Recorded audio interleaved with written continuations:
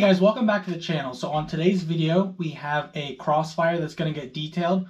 Um, this is my first one of these I've ever done. It was actually, you know, a pretty neat convertible car. Um, so for some of the clips on this, I don't know why, but some of them are cut short, a lot of the washing clips. Um, I tried to look back and I couldn't find out what was wrong, so it is what it is. Um, so if you do like this video, please uh, hit the like button and subscribe if you want to see more videos.